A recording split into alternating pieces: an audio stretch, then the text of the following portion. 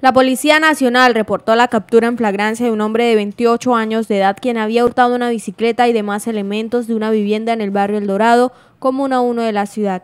Esto tras el llamado de la comunidad. Tras verificación de antecedentes le encontraron 11 anotaciones judiciales. El Dorado de la comuna 1 se registra un hurto a una residencia donde un sujeto ingresa y sustrae una bicicleta todoterreno avaluada en un millón de pesos, un par de tenis, entre otros elementos. Gracias a la información inmediata y oportuna del afectado, la Policía Nacional logra capturar al sujeto que cometió este hecho delictivo minutos adelante.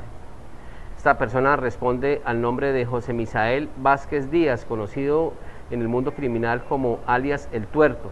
Le registran 11 antecedentes judiciales por los delitos de hurto, porte ilegal de armas, tráfico de estupefacientes, lesiones personales y fuga de presos. En el operativo se logró la recuperación de la bicicleta y los otros elementos. Las autoridades entregaron estas pertenencias a la víctima de este hecho, quien agradeció la rápida reacción de la policía. Agradecimiento a la, a la policía porque se hizo un llamado a las autoridades y de una vez llegaron a la casa, se, dio el protocolo a seguir, eh, comenzó la búsqueda, mm, desesperado buscando lo que el señor se había llevado, salimos eh, un poco preocupados por lo que estaba sucediendo ahí en el barrio El Dorado, se llevó algunas pertenencias y pues lo, el mayor valor pues la cicla que estaba ahí en la sala, la puerta estaba abierta y ingresó y se llevó lo que más pudo ahí en toda la entrada de la casa.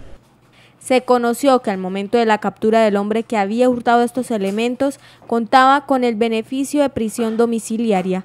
El sujeto fue dejado a disposición de un juez de la República donde le definirá su situación jurídica.